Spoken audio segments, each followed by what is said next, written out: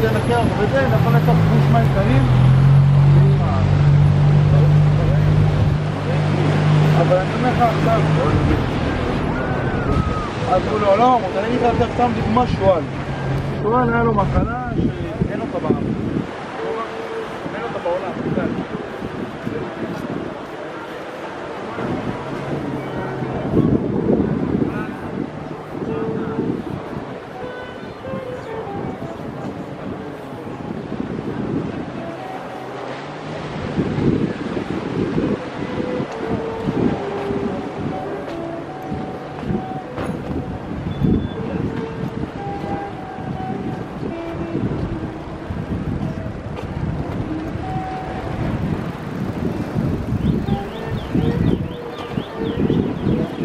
Thank you.